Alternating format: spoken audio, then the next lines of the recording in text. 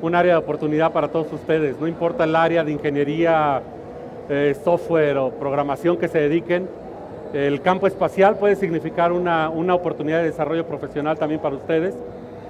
Y eh, en el marco de eso quiero presentarles la oportunidad que va a representar para nosotros tener el Congreso Internacional de Astronáutica, ¿no? que es prácticamente los Juegos Olímpicos del Espacio, vienen a México, va a ser aquí en este mismo lugar, en septiembre, de la última semana de septiembre. Entonces, les quiero platicar un poco más a detalle qué es el, el evento y sobre todo qué facilidades les vamos a dar para que ustedes puedan venir y, y ser parte de esa, de esa experiencia de vivir el, el Congreso, ¿no?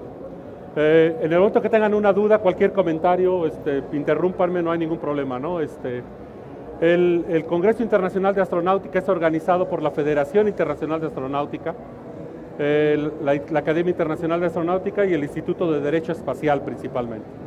La federación es un conjunto de, de instituciones que por voluntad se inscriben y son parte de la, de la federación. La Agencia Espacial Mexicana en este caso, es la que es miembro de la federación y es quien puede solicitar la sede del Congreso. Entonces, cada año el Congreso se va organizando y la sede se concursa con tres años de anticipación. Nosotros ganamos la sede en China hace tres años, compitiendo contra Ucrania y a pesar de ser una agencia espacial joven, pues logramos traer el Congreso para México, ¿no? Por la importancia que México representa y porque hace más de 20 años el Congreso no se lleva a cabo en Latinoamérica. Entonces es realmente una oportunidad increíble, no solo para México, sino para la región en su conjunto. ¿no? Eh, esperamos una participación de más de 5 mil personas en el evento, sí, pero van a ver ustedes al final que tenemos retos interesantes, ¿no? y uno de ellos es que logremos traer al, al, al menos 2 mil estudiantes de licenciatura y posgrado que participen en el evento. ¿no? Entonces es una, una oportunidad muy interesante prácticamente se reúne la crema innata del sector espacial.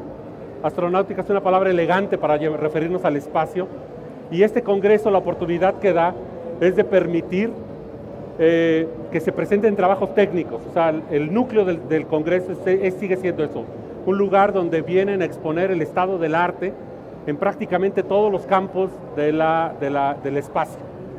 Y, estamos hablando desde que viene gente a hablar de espacio y cultura, espacio y arte, espacio y derecho, así como las, las, partes que más conocemos del espacio, ¿no? investigación de espacio profundo, vida en el, vida en, en el espacio, cómo colonizaremos Marte, cómo ponemos satélites, cómo usamos los satélites, o sea, todo el tipo de aplicaciones y tecnología vinculada con el espacio, por supuesto que es uno de los temas fundamentales, ¿no?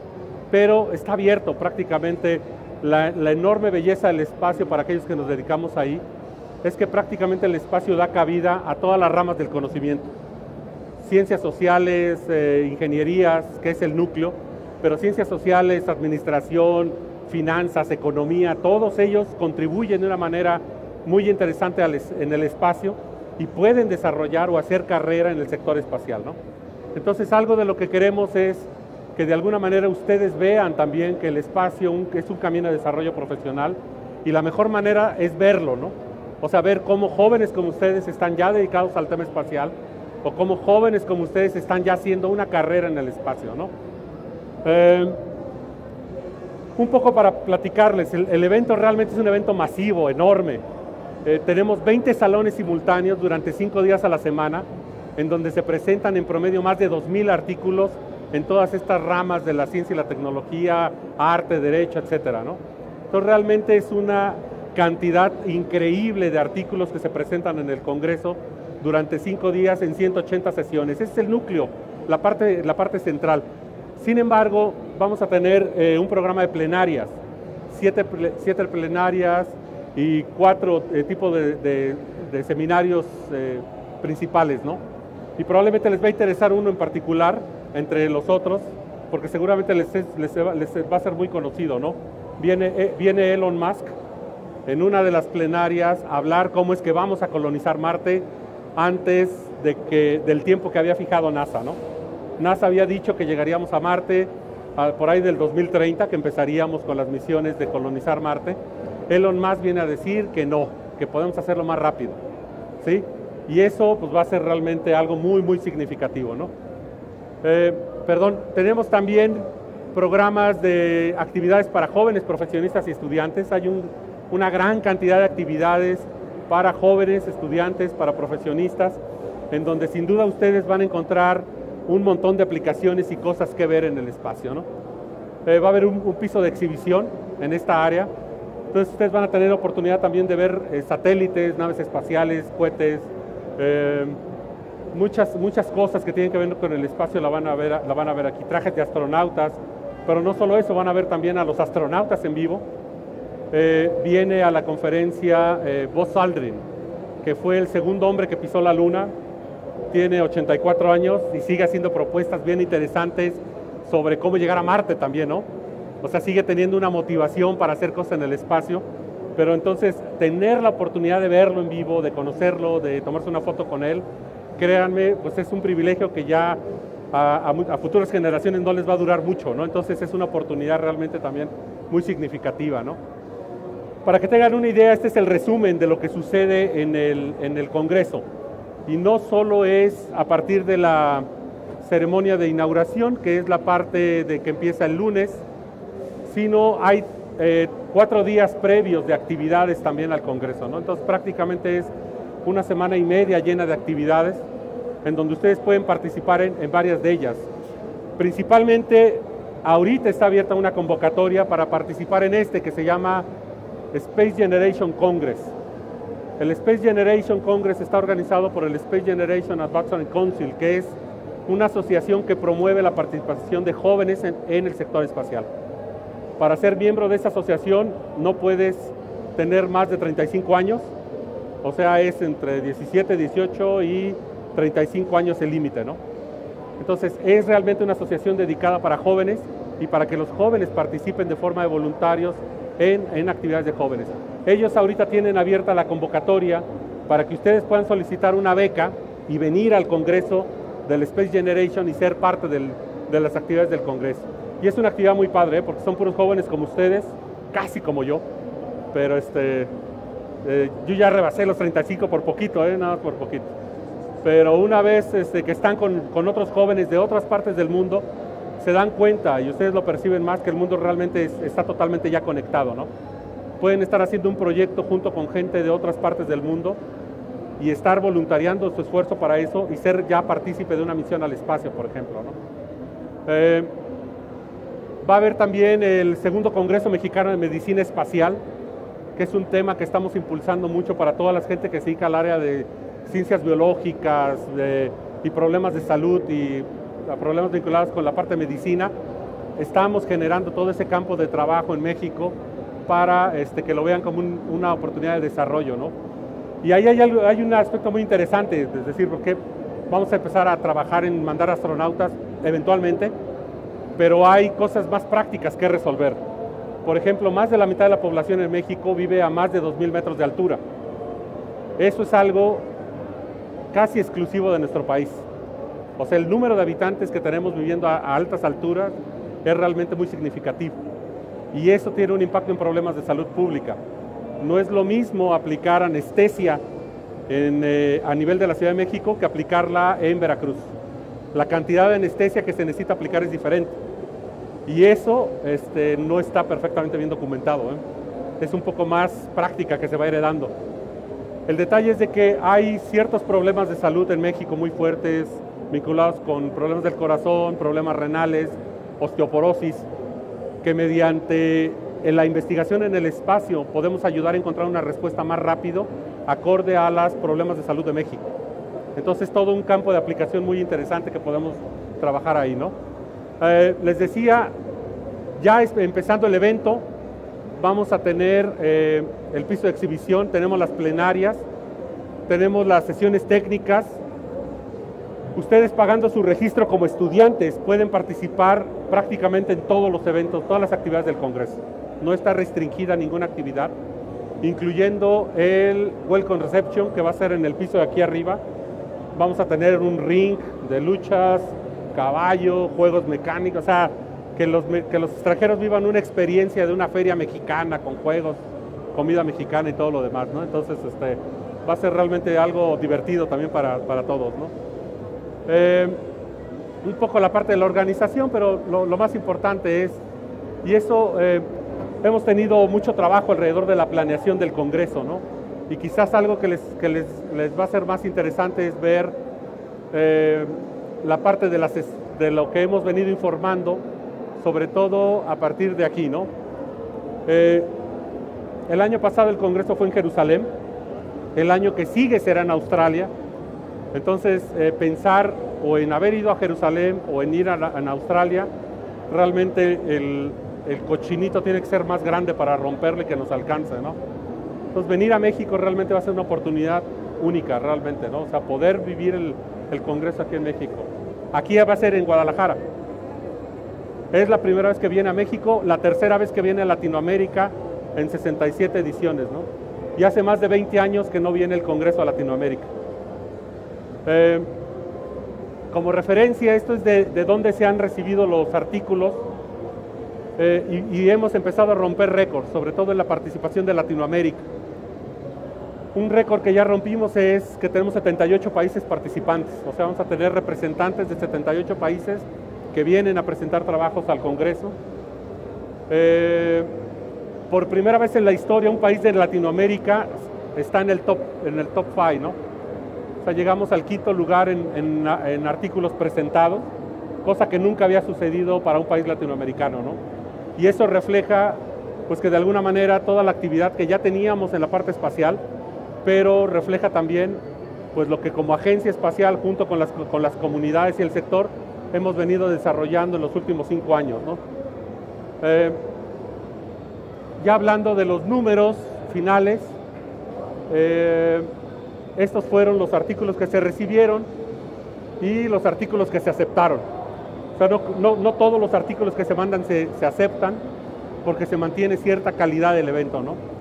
Entonces, al final, en los números que nos interesan, quedamos en octavo lugar, porque de los artículos que mandamos se aceptaron 102. ¿sí? De nuevo, eso, esos números es un récord si consideramos que en total para Latinoamérica fueron 168 trabajos ¿sí? aceptados.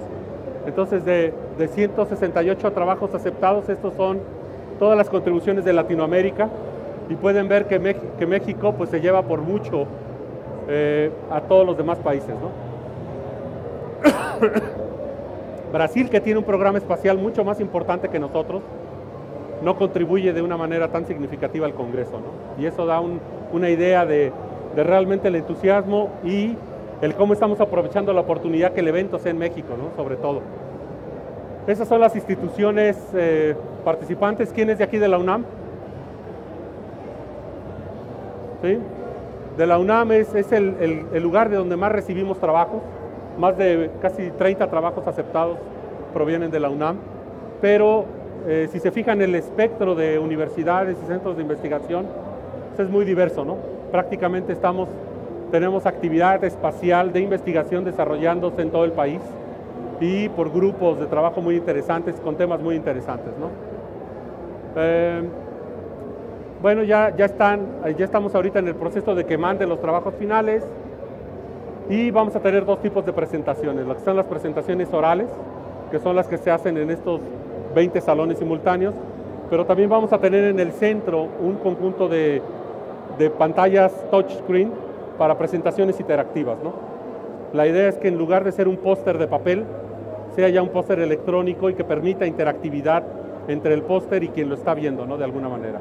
Entonces tú te paras en una pantalla y puedes recuperar alguno de los 300 pósters que se van a presentar y en cierto tiempo estará el autor ahí enfrente para explicarte y interactuar contigo si es un trabajo que te interesa de esa manera. ¿no? Eh, este es el programa de las, plenarias, le digo, ya es público, ya lo pueden checar en la página de la Federación y del Congreso. Elon Musk va a estar presente el, martes en la tarde, ¿no? Pero si se fijan, eh, una plenaria que siempre es muy interesante es esta, ¿no?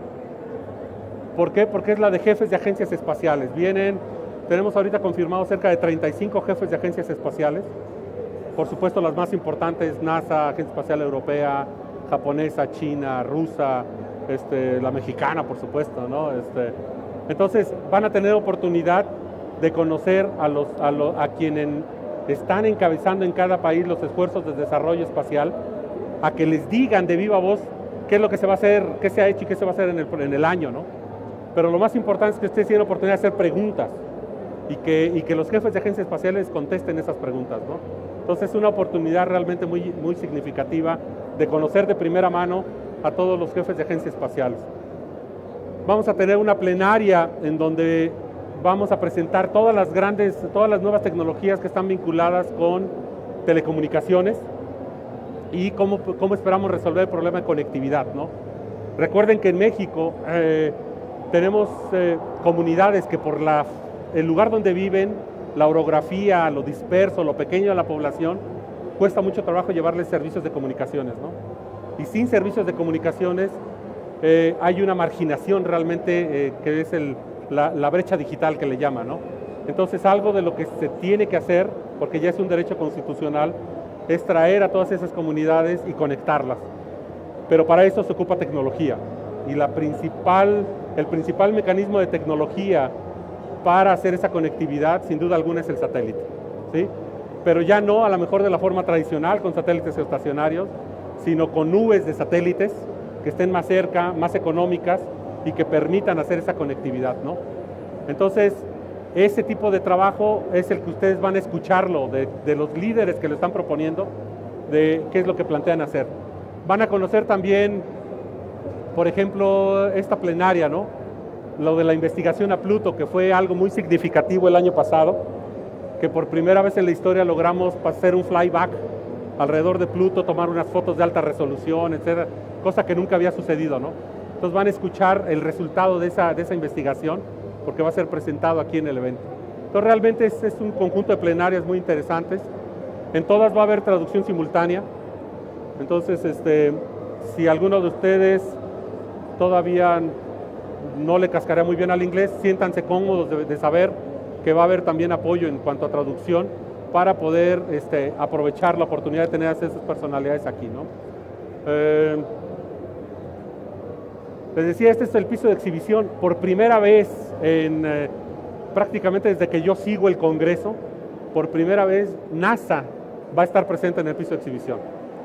Entonces, NASA, a pesar que la agencia espacial más importante del mundo tiene muchas restricciones para, fuera de Estados Unidos, poner una exhibición o, traer mucha gente, ¿no?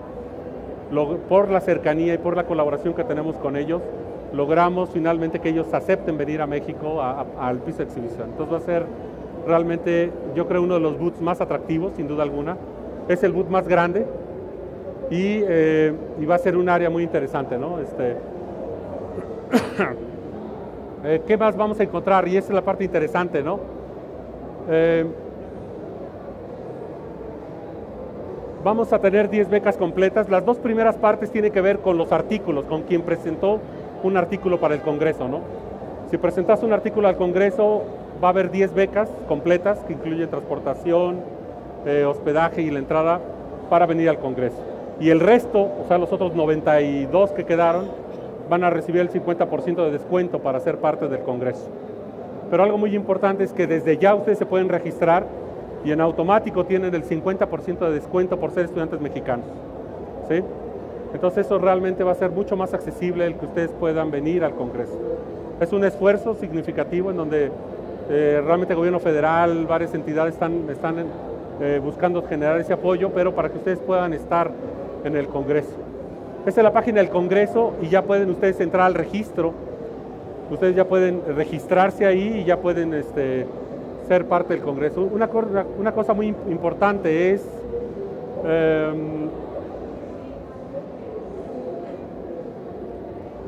es, es esta de aquí.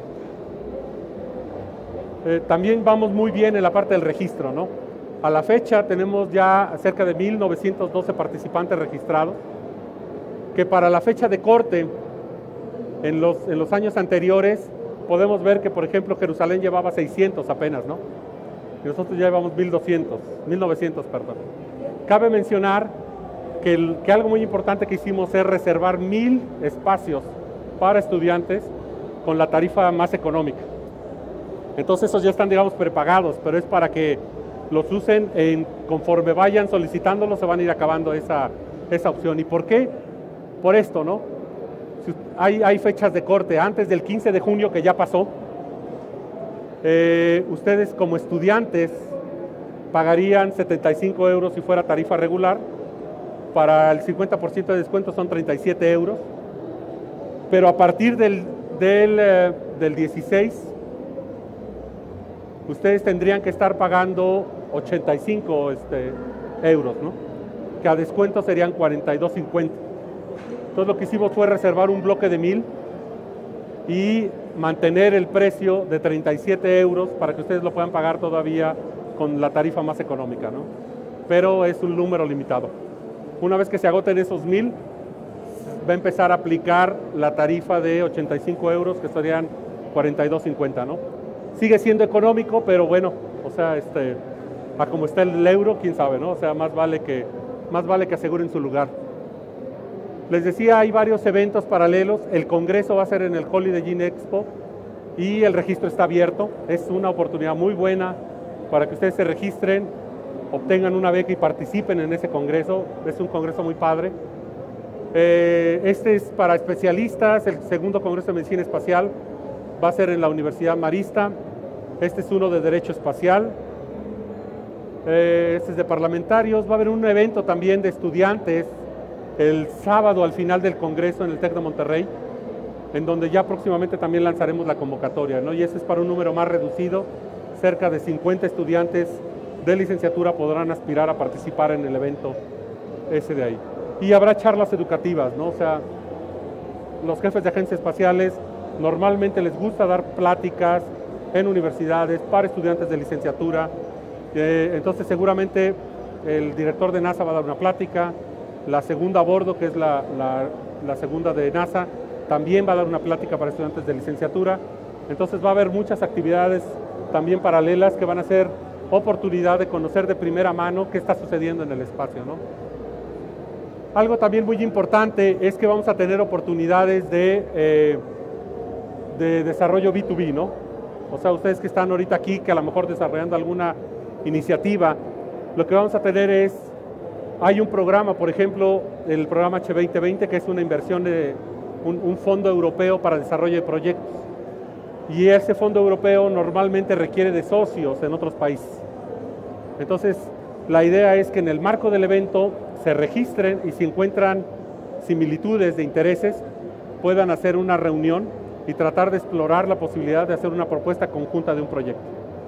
De igual manera, si ustedes tienen una idea, un proyecto, en donde están buscando algún socio que ayude a desarrollarlo, pueden plantear su propuesta ahí de forma tal de que alguien la vea y trate de ver si tiene interés en la idea o proyecto que ustedes están proponiendo, ¿no?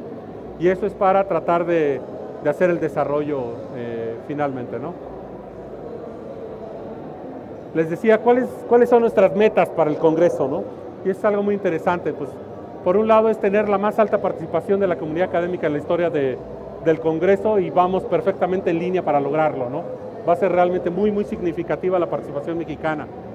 Sin embargo, una meta que tenemos como comité organizador es que existan al menos 2.000 estudiantes presentes en el evento.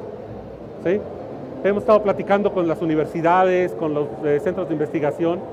Eh, si ustedes quieren venir de alguna universidad, acérquense a la universidad, mándenme un correo electrónico.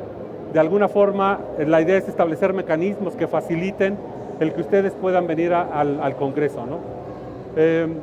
por ejemplo, aquí para el estado de Jalisco va a haber 220 becas para los estudiantes que no vivan en la zona metropolitana y de esa manera facilitar que todos los, sobre todo de las comunidades rurales puedan venir y ser partícipes de la, de la, actividad del Congreso. Y ese es un esfuerzo de aquí del estado de Jalisco para hacerlo. ¿no?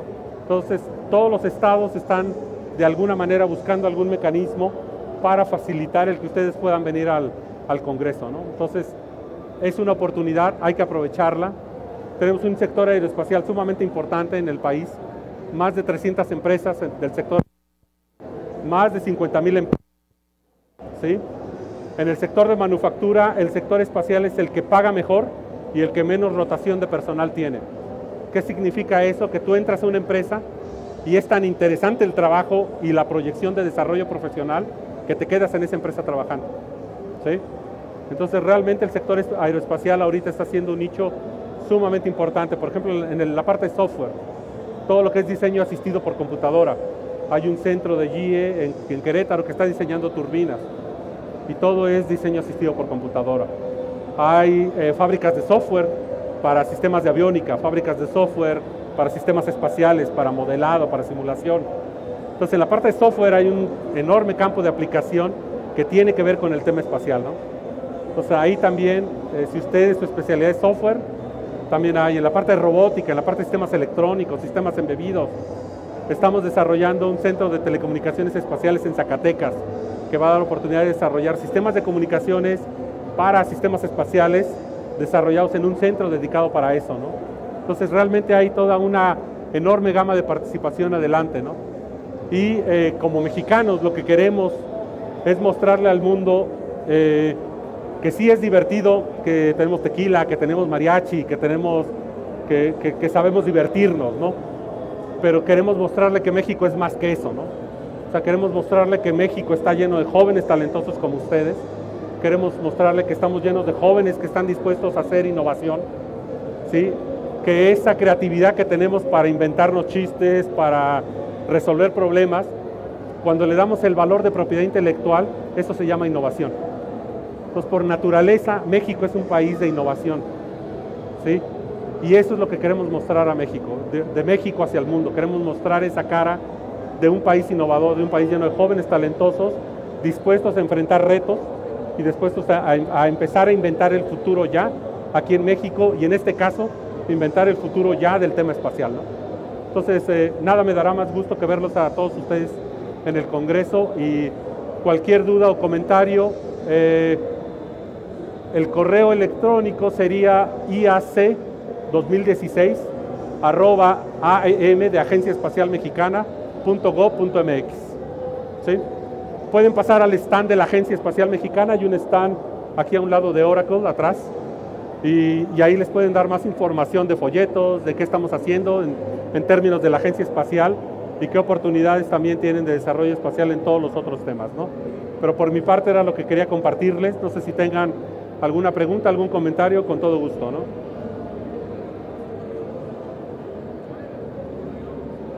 IAC 2016 arroba aem.gov.mx.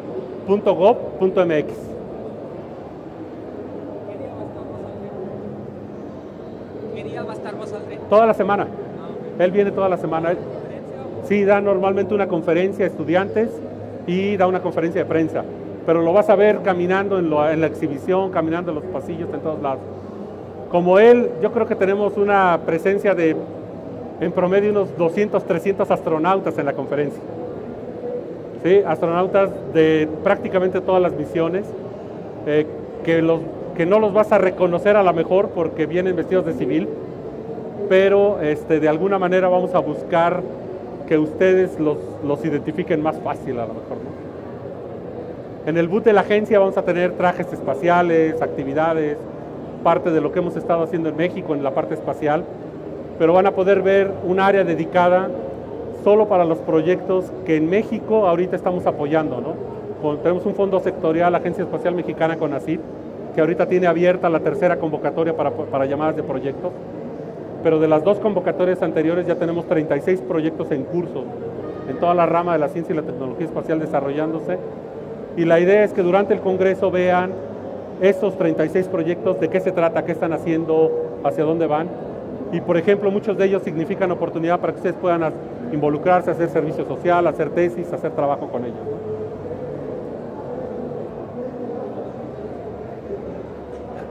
Mm, nomás tenía duda con lo de las becas, si va a ser por centros universitarios eso de que va a haber becas del 50% para lo de los 85 euros, o cómo va a estar la cosa, no, no entendí bien. Las, el 50% es para, para todos los estudiantes que quieran venir. Lo que hicimos fue reservar un bloque de mil con la tarifa más baja, que son 37 euros. Pero si tú dices, pues yo quiero llegar al, al día del Congreso, registrarme y pagar mi descuento, ahí te lo hacen válido, pero ya pagarías 45 euros.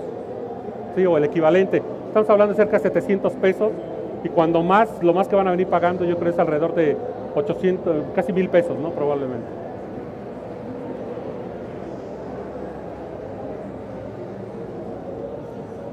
Entonces solo basta con registrarse para obtener el descuento de los Así mil es. bloques. O sea, te entras a la página, eh, hay, una, hay un aviso ahí, tienes que te preregistras y, y dar, te da oportunidad de que mandes tu comprobante de que eres estudiante, ¿no? Y si seré estudiante en agosto, hasta agosto. Eh, ¿Dejas de ser estudiante en agosto? No, hasta agosto empiezo a ser estudiante. Ah, pues ya no hay problema. O sea, tú ya dices, ya me voy a inscribir, manda una carta que estás en trámite y que al momento de llegar muestras tu credencial de alguna manera. Si ya no eres estudiante, eh, yo creo que puedes aplicar, hay una tarifa de joven profesionista. Si tienes menos de 35 años, que evidentemente los tienes, eh, eres menos de 35 años, eh, pagas una tarifa de 300 euros y es una tarifa reducida. Pero yo lo que te sugeriría es eh, que apliques al, al workshop de Naciones Unidas, porque ese sí solo es para, para personas que ya son graduados o que ya están trabajando, o al mismo de Space Generation también, ¿no? Y esos son... Sí, claro.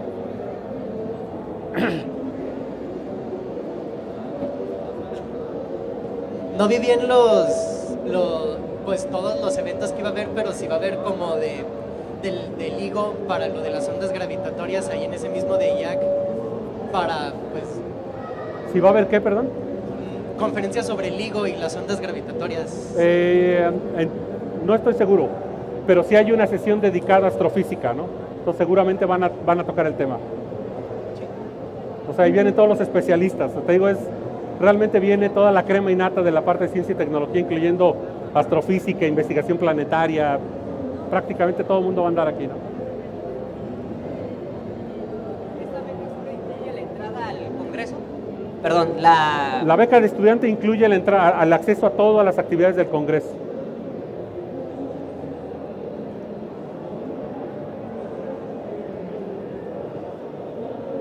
La beca que había dicho para las actividades anteriores al, al Congreso, que era para jóvenes, ¿cómo es?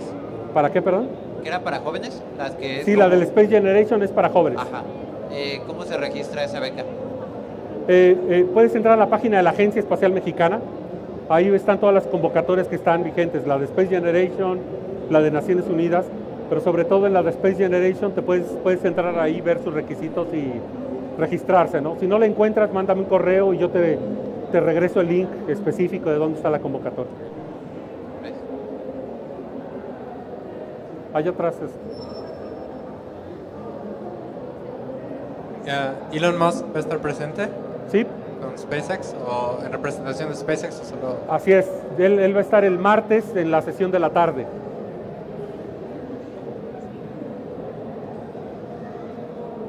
Pero no es el único, ¿eh? viene Jeff Bezos, que es el, el CEO de Amazon, porque él tiene una inversión en Blue Origin, que es otro, otro tipo de cohete también. Entonces, como que a la parte de los, de los de software ricos que tienen dinero extra, como que lo que está cool es que tengas tu compañía de espacio, pues, ¿no? Cohetes, lanzadores, algo de eso, ¿no? Entonces, vayan buscando hacer dinero y luego a invertir en el sector espacial también, ¿no? Sí, también. Y por supuesto vienen los, los, digamos, los tradicionales, ¿no? Vienen los CEOs de Lockheed Martin, de Boeing, de Airbus, de Ariane Space. O sea, todos los, todos los grandes líderes del, sector espacial van a estar presentes también.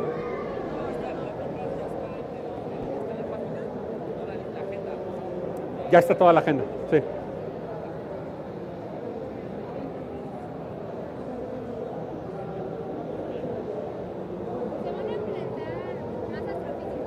Sí, claro.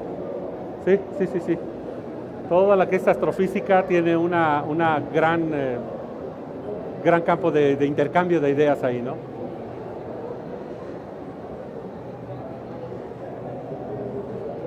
Nada más. Pues no me queda más que agradecerles, ¿eh? gracias, muy ama- muchos muy amables por su. Gracias.